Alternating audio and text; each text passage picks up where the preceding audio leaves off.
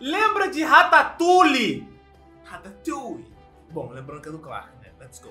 Há pouco tempo atrás existia um chefe de cozinha francês chamado August que cozinhava muito bem. O cara tinha um restaurante 5 estrelas, Gostou. era muito Gostou. famoso, já chegou até a publicar livros, um inclusive que dizia qualquer um pode cozinhar. De fato, concordo, qualquer um pode, se vai ficar bom ou não é outra história. Verdade. A coisa é que um dia um crítico também muito famoso da gastronomia, um cara muito infeliz, olha essa cara de infeliz, fica muito Não, é de porque quem pra ele não de- existe essa de qualquer um pode A orelha, o- os olhos. Aquela cara de eu sou infeliz, eu tenho que fazer a vida dos outros infeliz também. Exato. de cozinhar. Pra ele isso é coisa séria. Então ele prova a comida do August e escreve a pior das piores críticas. Então o restaurante perde uma estrela e o pobre August morre de tristeza. Adeus. Oh, meu Deus! Sempre te lembraremos por ser a maior inspiração de um rato. Então é por isso que hoje um dos melhores filmes da Pixar, Ratatouille. Porra, eu realmente fico impressionado como uma ideia tão esquisita pode virar algo tão encantador. Tipo, imagina o processo de criação dos caras da Pixar pra fazer esse filme. Né? Aí, chefe, que tal um filme sobre uma família de super-heróis? Boa ideia, amigo. Vamos anotar. Aí, chefe, que tal um filme sobre uma criança que caiu na selva e ficou sendo cuidada por macacos? Boa, vamos anotar também. E que tal um sobre um rato? Sim, um rato daqueles que vivem no esgoto cozinhando. Boa! Caralho! Ah, essas desconstruções da Pixar, amo. Bom, essa é a história de Remy, um rato, porém não um rato Ah, é Remy, achei que era Remy. Agora. É, porque lá é Remy, falam. Ah, ah. qualquer, mas um rato que gosta de andar em duas patas pra não sujar as mãos, odeia comer lixo e tem os sentidos altamente aguçados. Remy tem um irmão chamado Emil e um pai chamado. não sei. Pai, que um dia é salvo por ele que evita que o seu papai coma uma maçã envenenada, e o pai, líder da gangue dos ratos, coloca o Remy pra trabalhar de cheirador de comida, detector de veneno. Como essa vida não o deixa feliz, o Remy tem constantes brigas com o pai e gosta muito de ir na casa dessa humana onde assiste o August pela TV e come as coisas dela. O problema é que um dia ele é pego, então a véia puxa uma 12, mete bala em tudo e a colônia dos ratos acaba sendo descoberta. Porra, inclusive essa animação Imagina, é muito bonita. Mano, se eu. Não, não, Não, não, não, não, não. Tô indo embora. Tá muito fluida e eu sou suspeito pra falar porque esse é com certeza uma das minhas animações favoritas. Mas, cara, olha como isso é lindo. A coisa é que no meio da fuga, por causa do livro que o Remy queria roubar, ele se perde dos outros ratos. Então passa muito tempo sozinho até que decide ir até a superfície e finalmente ver pessoalmente o grande restaurante do August. Aqui então conhecemos Linguini, um cara não muito esperto, filho de uma antiga namorada falecida do August que tá aí pra pedir emprego. O Skinner, novo chefe não simpático do lugar, nega. Porém, como já contrataram antes de falar com ele, ele coloca o Linguini pra levar o lixo, limpar o lugar, enfim. Como o Linguini é um bananão, ele sem querer derruba uma sopa pra tapear, enche ela de tempero e água. Então o Remil vê isso, não aguenta tanta burrice, vai consertar e sai colocando uma coisa aqui, outra coisa ali, até que é pego pelo Linguini. O problema é que logo aparece o Skinner atrás da sopa, então fica muito bolado com o Linguini por ter mexido nela, porém, entretanto, todavia, adivinha só, a sopa é um sucesso. Todo mundo gostou. O Skinner, apesar disso, ainda quer colocar o Linguini pra fora. Porém, ele é defendido por essa outra cozinheira chamada Colette e acaba sendo contratado pra cozinhar. Porém, ela que vai ficar de olho nele. Nesse momento, Remil infelizmente acaba sendo visto. Então todo mundo tenta derrubar o rato, ele acaba sendo pego pelo Linguini e aqui nasce uma verdadeira e belíssima história de amizade entre um humano e um rato. Amigo, estou aqui. Se a fase é ruim e são tantos problemas que não tem fim. Não se esqueça que ouviu de mim, amigo, estou aqui. O Skinner manda matar ou jogar o rato pra longe, que é o mais lógico a se fazer. Assim também não, vai jogar o rato na água com o vidro fechado, carai. O problema é que o Linguini não tem coragem. Eu também não teria. Olha a cara do bichinho. Então, como querem que ele cozinhe de novo, ele tem a brilhante ideia de soltar o rato pro rato ajudar ele na cozinha. O Remil primeiramente foge, mas depois vê a cara de coitado do Linguini e volta. Então eles realmente criam uma amizade bonitinha, mas e agora? Onde colocar o rato? Cara, eu ri muito disso. Pô, como o filme pode ser assim, infantil Sério? Aqui? Por quê? e ao mesmo tempo muito bom. Problema é que na hora de cozinhar, as coisas não dão muito certo porque eles não conseguem se comunicar. O Remil, inclusive, sai enchendo o linguine de mordidas. E pesquisando, eu vi que mordida de rato pode causar febre, leptospirose e hantavirose. Isso tá me lembrando o, o Mateuso é, lendo o lance lá do, do, do. Daquele negócio lá do. Record of Ragnarok. Ah, tá. Nicolas Telas! Nicolas Telas, mano.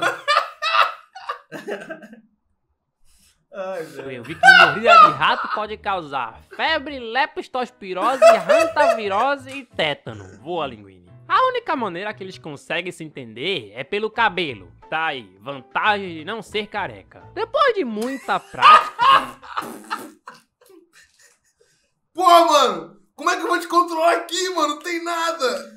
Ai, velho. Linguine finalmente está pronto, então recria a sopa que fica novamente muito boa e junto a Colette aprende um monte de coisas, não só ele, o rato também. É uma pena que esse emprego não vai durar muito, porque a expectativa de vida de um rato como esse é de apenas dois anos. Sinto muito. Em paralelo a isso, o Skinner, lendo uma carta da falecida mãe do Linguine, fica sabendo que ele é filho do próprio ex-dono falecido do restaurante. Ou seja, ele é o herdeiro legal, apesar do Skinner não gostar nada disso, porque se se passasse mais um mês sem que nenhum outro herdeiro aparecesse, o restaurante ia pro nome dele. Calma, Skinner. Logo, logo ele morre de leptospirose.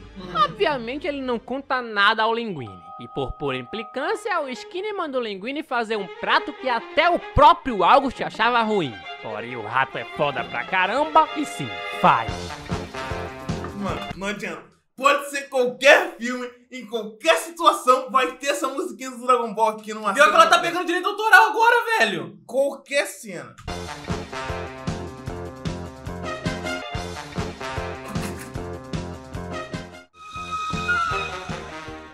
Então esse prato logo vira uma celebridade e o Linguine vai virando o cara mais respeitado do lugar. Outro lado, o acaba se reencontrando com a família que, óbvio, fica feliz e depois se enoja com o fato de que ele anda ajudando humanos, humanos que destroem a sua raça. É o que acontece quando um rato fica muito à vontade perto dos humanos. Nossa, olha que filme na medida certa pra adultos e crianças. Eu lembro de que quando criança eu amava e agora amo mais ainda. Apesar disso, o Remil ainda continua seu sonho de se tornar um chefe. E em determinado momento ele chega a controlar o Linguine até dormindo. Como? O cabelo do Linguine é ligado com suas terminações nervosas? Essa é uma pergunta que nunca encontraremos a resposta, entenderam? Em determinado momento, o Linguine, como é muito burro, quase conta a verdade pra Colette. Eu tenho um. um mini. ah, pequenininho.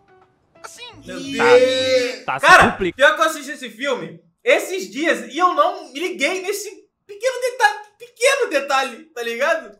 Ficando com essa de eu tenho um pequenininho e a cara dela é a melhor. Controlado pelo Remil, o Linguine tá com um beijo nela pra ver se ele cala a Ai! boca. Então eles começam um romance e talvez seja isso que falte pra você começar um romance, um rato. A coisa é que o Skinner tá desesperado com medo de perder o restaurante. Então o advogado o acalma e diz que só faltam três dias para que passe o tempo de aparecimento de um herdeiro. O problema pra ele é que quem acaba achando as provas da filiação é o Remil. Você é pai do Linguini? Eu tenho um filho? Como é que você não sabia? Ah, eu sou apenas fruto da sua imaginação. Você não sabia. Como eu saberia? Ou seja, um garanhão. O August era bom em colocar o Onde deu ruim pra tu? Deu ruim, deu ruim. Ah, tá. baguete no forno na cozinha e fora dela também. Porém, justo nesse momento, Aí, de novo. Caraca! Detrás de ti, imbecil! Porra, esse é do Resident Evil 4, velho! Caraca! Olha isso! Porém, justo nesse momento, Para, mano! ¡Detrás de ti, imbécil! ¡No dejéis que se escape! Bom, o Remil consegue fugir o Linguini, quando fica sabendo, ele toma o que é de direito. Haha, parabéns, Linguini. Tudo depois daqui fica uma maravilha. Está tudo. Porém, adivinha quem aparece pra fazer da vida do Linguini o inferno? Anton Ego, o crítico com cara de infeliz. Eu voltarei amanhã à noite com grandes expectativas. E espero que não me decepcione.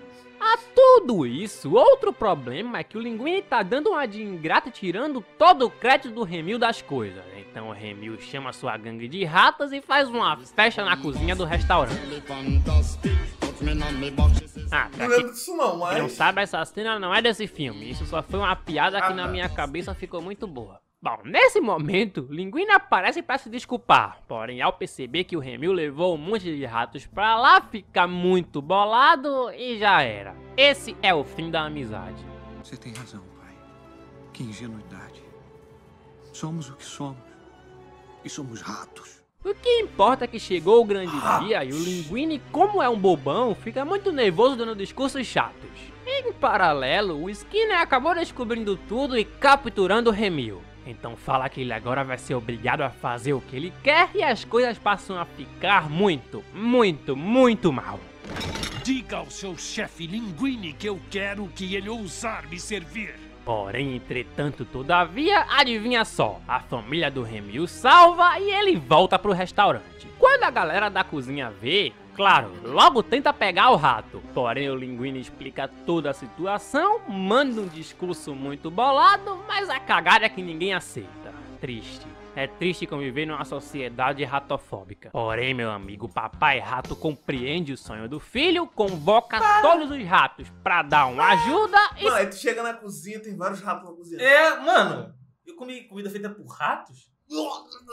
Sim, eles tomam banho e iniciam a super cozinhada final. Capricha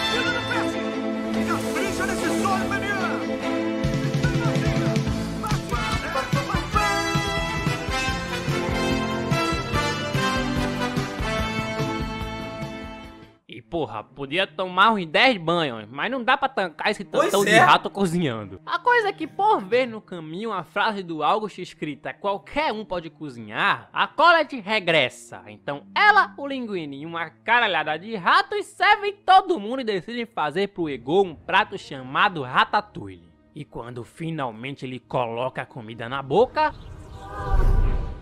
Sim, fica encantado porque o gosto lhe remete à infância. Imagina se ficasse sabendo quem foi o cozinheiro. Ha! Ele fica. O Linguini diz que se ele quiser conhecer o chefe, ele precisa esperar todos irem embora. Então ele espera e finalmente temos o encontro mais aguardado por todos. Primeiro o Ego sorri achando que é uma piada, porém depois vê que não é, agradece pela comida e se vai. No dia seguinte, ele publica uma crítica dizendo que o chefe daquele lugar é o melhor chefe de toda a França, dizendo que finalmente Pô, é o entendeu do que o Augusto dizia e que nem É o todo mundo pode se tornar um Ratatouille grande o artista. Mas o Mano, não tem como. Se você mostrar pra alguém, quem é esse ratinho aqui? Vão falar que é o o Ratatouille. Vão falar que é o Ratatouille, meu brother. Você chama o Link de Zelda? Não, mas quem não sabe que o nome dele é Link, vai falar quem? Porra, esse é o Zelda. O nome da princesa Zelda. Você vai chamar o... o, o... Ah, Mario já é Mario. Quem não sabe que o, o dinossaurinho do Mario é Yoshi, vai falar quem? É o dinossaurinho do Mario. Mas Ratatouille é o prato! Qual é? Existe o Sonic. E ele é azul. Aham. E o amarelo? Nossa, eu não lembro qual é o nome. Sonic amarelo. Pra E quem o não sabe o vermelho? nome dele. Knuckles. Sonic vermelho, pra quem não Ah. sabe. Pra quem não sabe que é o Knuckles é vermelho. Pode vir de qualquer lugar, até do esgoto. Bom, esse até do esgoto foi o que Curiosidade, todo mundo na infância não falava Knuckles, falava Knuckles, tá? Ah. Todo mundo falava Knuckles. eu coloquei pra enfeitar. No dia seguinte, por incrível que pareça, o restaurante é fechado porque, bom, foram pegos pela vigilância sanitária. Porém, o próprio Ego larga sua cara de infeliz, larga sua carreira de Olha lá, agora tá com uma cara de quem? Que Pô, transou. Exato! É essa, Exato! cara? Olha lá, carinha de feliz. E investe no seu próprio restaurante que chama-se Ratatouille, onde o cozinheiro é o rato. Enfim, é isso. Ratatouille recebeu notas muito altas da crítica. Haha, faltou um ego pra criticar o filme. A bilheteria também foi muito alta, e a real é que esse filme é bom pra caramba. Enfim. Comigo ele tem um 10 e lembrem-se, não importa de onde você veio, tenha sempre esperança. Deixa pra lá, cara. Aí, você já viu um novo vídeo na televisão? Demais. Fala. Eu tô ligado em tudo que Tá É, rolando. é, Falou. Falou. Hã? O Ratatouille. é. Tá falando- Remi, tá- Remi. Você tá falando do prato do restaurante. Tô falando do rato. Do prato! O rato prato. Tipo assim, velho, é legal, entendeu? É. A... Eu assisti recentemente esse filme. Mas, cara. É fantasia, porque se você entra num restaurante, por mais. Sei lá, banhos que eles estão tomando, tudo. Mano, vê um monte de rato. Não adianta. Você já, você já. Não dá, cara. Nós enxergamos os ratos como seres sujos, do esgoto. É, mano. Entendeu? Não tem como. Tanto é que rato é um xingamento, você é um rato. Exato. Bom, guys, espero que vocês tenham gostado. Fiquem bem. Claro que tamo junto. Continue fazendo Pô, lives. cara, vídeos muito bons. Até a próxima e tchau. Tchau!